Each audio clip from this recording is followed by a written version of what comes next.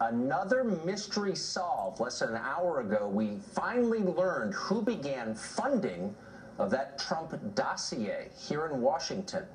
An amazing and maybe not surprising tale. We'll tell you in a minute.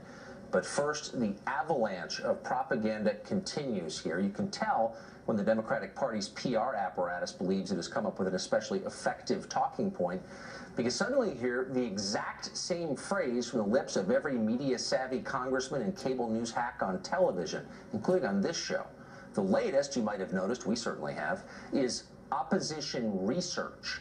That's what Democrats are now calling the Trump dossier, that collection of lurid, unverified allegations that in some cases appears to have come straight from the Kremlin. Last month, Democrats told us that dossier was evidence of treason. It was grounds for impeachment. Well, now that it turns out that Hillary and the DNC paid for it, the whole thing is being written off as merely opposition research. Totally routine, no big deal. Move along, nothing to see here. Come on, why are you so uptight? We've heard the story a thousand times. Right, not so fast. In fact, the Trump dossier is far from just opposition research. For almost a year, it has been the linchpin in a remarkable effort to overturn last year's election results information in that dossier, which in retrospect looks frankly very much like disinformation, flowed from Russia to the Hillary Clinton campaign and the headquarters of the Democratic Party. From there, it somehow made its way throughout the Obama administration to the FBI and various other law enforcement agencies and intel agencies as well. The Obama administration used the dossier's allegations to justify spying efforts against American citizens, including Trump associates. In other words, the entire investigation into Russia and Russia collusion, the one that has stalled our government and changed our foreign policy, all of it grows from the now discredited Trump dossier. It's hardly just a piece of opposition research. It's a history-changing document, and apparently a fraudulent one. So it's no wonder so many people are now lying about it. Maggie Haberman and Ken Vogel, the New York Times report that Democratic officials repeatedly lied to them for more than a year, claiming they had nothing to do with the dossier. Neither the Hillary Clinton campaign nor the DNC reported their payments to the firm that compiled it, as they were required to do by law.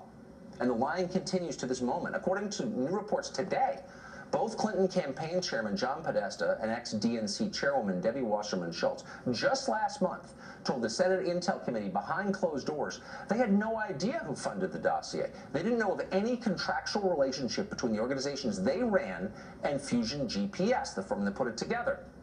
Right. Not likely, actually.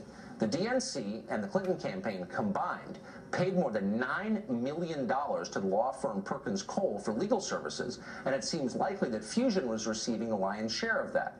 We can't tell you exactly how much they were receiving because Fusion GPS has resisted congressional subpoenas of its financial records. Still, it seems almost certain to be a massive payoff, multi-millions of dollars. Were Wasserman Schultz and Podesta both so detached from the campaigns they're running in a presidential year that they had no idea where millions of dollars went? That seems absurd. Meanwhile, less than an hour ago, as we told you just at the top of this, another great mystery has been solved. The identity of the funder of the original Fusion GPS opposition research on the Trump campaign. Now, we've known for a long time it was an anti-Trump Republican. Now, according to a report by the Washington Examiner's Byron York, we know it was the Washington Free Beacon. That's a website funded by hedge fund billionaire Paul Singer and founded in part by Twitter celebrity Bill Kristol. That's where it all began. And we can promise you that not a single person in Washington is surprised by that.